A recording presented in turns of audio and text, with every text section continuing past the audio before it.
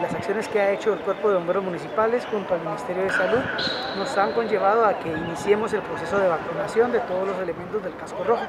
Este proceso pues, se ha llevado a cabo en ciertas fases para hacerlo de manera ordenada. El día de hoy iniciamos con 150 elementos de la institución para empezar a realizar la inmunización. Se espera que la inmunización sea total para toda la institución debido a que somos elementos los cuales prestan servicio a la población guatemalteca, están en la primera respuesta y contemplados dentro del Plan Nacional de Vacunación.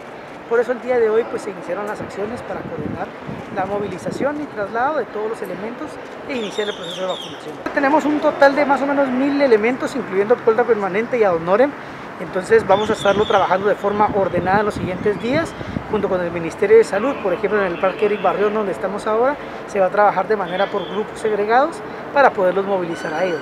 Estamos muy agradecidos directamente por que hoy inicia el proceso de vacunación para nuestros elementos. Sabemos que nuestros elementos han estado al frente de esta pandemia, son elementos de primera respuesta que efectuamos traslados también y la movilización de los pacientes a los centros asistenciales.